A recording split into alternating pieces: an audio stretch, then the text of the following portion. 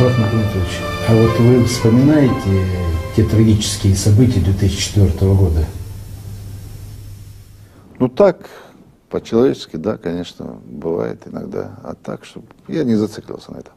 Бог богатый, Бог бережет, Он ведет по жизни.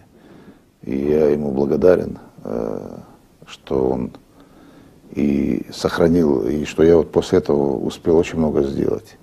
Вот это самое главное. Но ведь постоянно же вам мешают. Мы сталкиваемся действительно с, вот, подобного рода угрозами, когда э, республика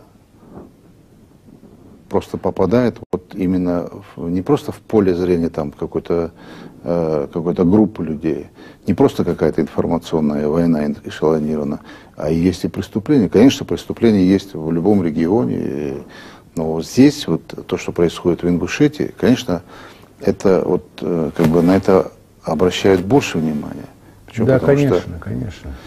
Потому что Ингушетия, она э, идет сегодня по пути созидания, по пути преобразования, по пути решения много а, вот, сделано того, чтобы республика стала центром межнационального, межконфессионального согласия.